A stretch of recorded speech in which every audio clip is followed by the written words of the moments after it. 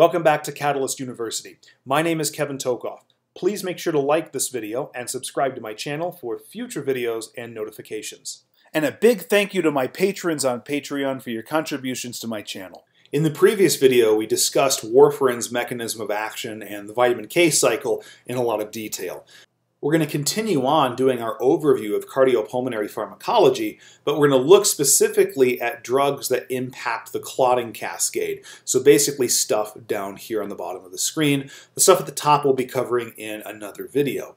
But as always, we'll start by reviewing the normal physiology, and once we have a grasp on that, we'll then go into some of the drugs. Now remember we have clotting factors. These are proteins that are made and released primarily by the liver into the blood and they're released into the blood in an inactive form.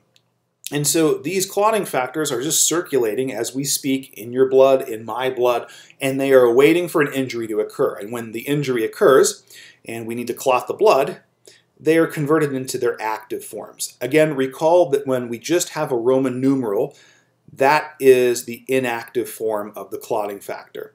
But once some stimulus, as an injury, triggers them to become activated, we denote a subscript of A, which means active. And that's how we know that they're active. Okay. Now these are just four of the clotting factors. There's of course many more, but these four are special in the sense that they are vitamin K dependent clotting factors. So they're vitamin K dependent because when the proteins are first made by the liver, they are completely non-functional. They're not just inactive. Even if they could become active, they're non-functional.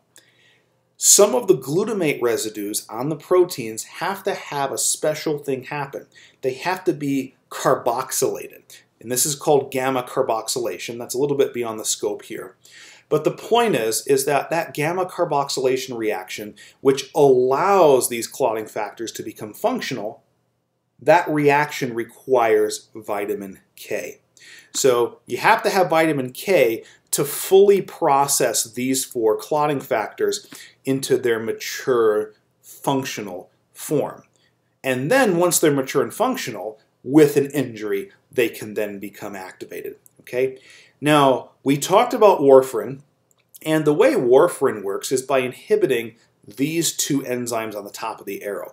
This third one, warfarin, doesn't have any direct action on, but it does on these first two as a competitive inhibitor.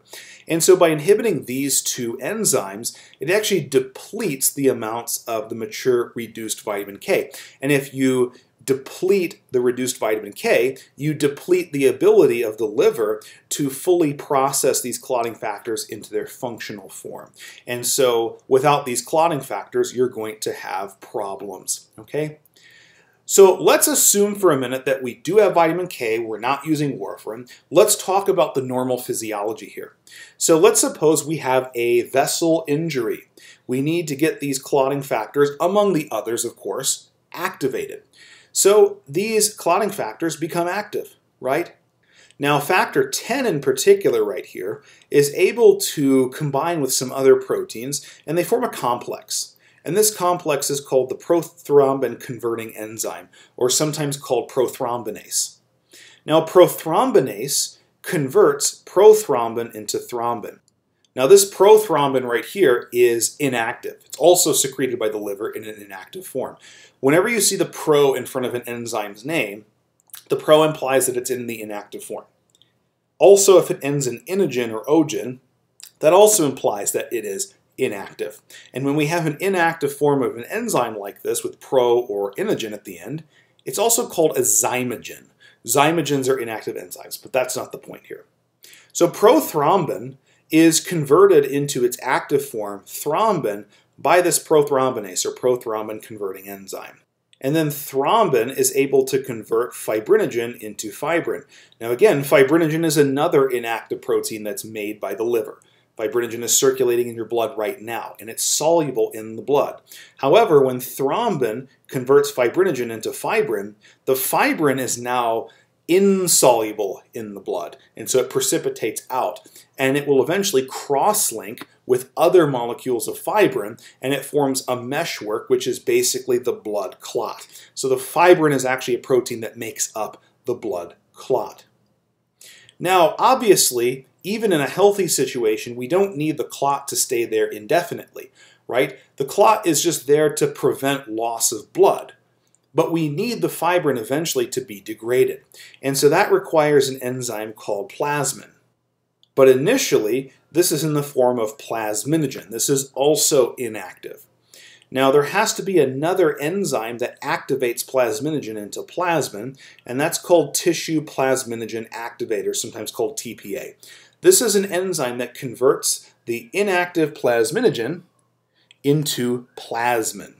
And then once plasmin is functional and active, it can then break down the fibrin into what we call fibrin degradation products. So basically up through the clotting factors right here all the way to fibrin, this is the process here of forming a blood clot. And then over here, this is actually what we call fibrinolysis, breaking down the fibrin clot when necessary. And the major enzyme uh, fibrinolysis is plasmin, as you can see right there. But of course, it requires tissue plasminogen activator to convert plasminogen into plasmin. Now down here, there's another enzyme called antithrombin 3. The 3 is irrelevant, so it's really just antithrombin, and it tells you exactly what it does. This enzyme will actually break down thrombin. It'll chew up the enzyme, break it down, and now you don't have any thrombin. Okay? Now thrombin normally converts fibrinogen into fibrin okay, which is the blood clot. So if we break down thrombin, there's going to be less fibrin, less blood clot, and so antithrombin 3 provides another way that the body can normally uh, either regulate the amount of blood clots or, or reduce the amount. So you can either work at plasmin over here by breaking down existing blood clots, or antithrombin 3 can break down the enzyme that makes the blood clots. Okay, also note that antithrombin 3 can also degrade some of the other clotting factors, especially factor 10, right here when it's active. Okay? And if you break down factor 10, you can't even make thrombin in the first place, right? Because factor 10 is a part of that prothrombin converting enzyme. Now to make matters even more complicated, antithrombin 3 is normally inactive. So there is a carbohydrate moiety called heparin that actually activates antithrombin 3. Heparin is normally found on the walls of healthy blood vessels where you don't want clots. And so you don't want clot in a healthy region of the blood vessel, so the heparin sticking out there. The heparin binds to antithrombin 3, activates it, and then antithrombin 3 destroys thrombin in the area and also any factor 10 in the area. Okay?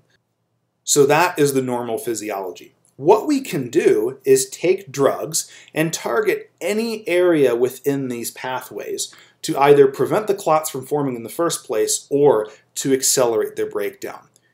And so here are some of the major classes of drugs. Let's start up here at the factor 10A inhibitors. So these are drugs that inhibit the function of factor 10A.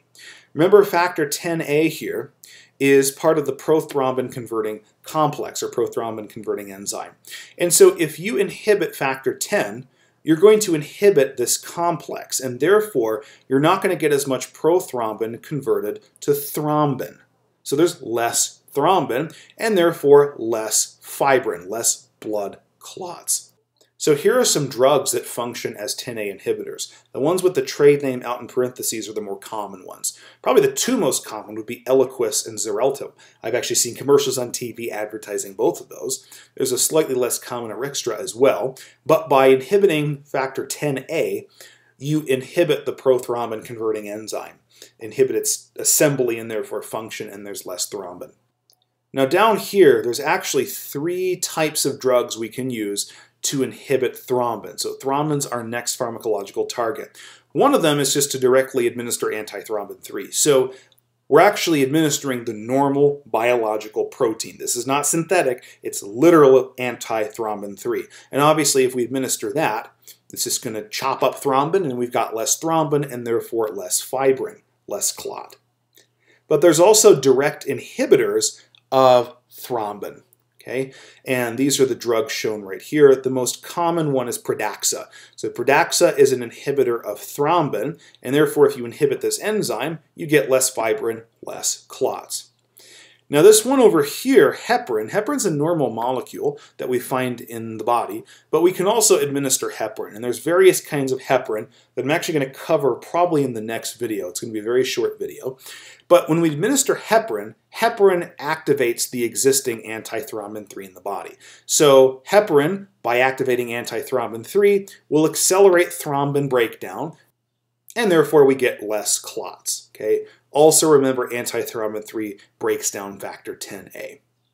So those are three ways we can directly or indirectly target thrombin.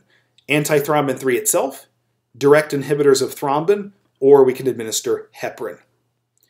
Now over here is our third choice. So this is where we can actually target the conversion of plasminogen, the inactive form, into plasmin. And remember, plasmin is going to accelerate fibrin or blood clot breakdown. Uh, we can use Activase. Now, Activase is really just tissue plasminogen activator. So in the same way that we can administer directly antithrombin 3, we can also directly administer tissue plasminogen activator, but it's just given the name Activase. Okay, So that's like its trade name. And there's a few other ways that we can affect this. We can administer streptokinase, which is another enzyme where one of its actions is to convert plasminogen to plasmin. We can directly administer plasminogen. If there's more plasminogen, then we'll likely get more plasmin, right? And then also this A2 antiplasmin, which is contrary to what the name suggests, but it also helps convert plasminogen into plasmin. And the more plasmin we have, the more fibrin is going to be broken down into its degradation products. And so really what we see here is by acting on plasmin, we're really accelerating clot breakdown, but over here on the left side of the picture, we're really preventing fibrin from forming in the first place. Okay, so hopefully this made sense to you and gave you some good information on how we can affect the clotting cascade and blood clots in order to reduce risk of stroke and things like that by thinning the blood. Thanks for tuning in. Please like, subscribe, and check out my Instagram for cool science and not science stuff.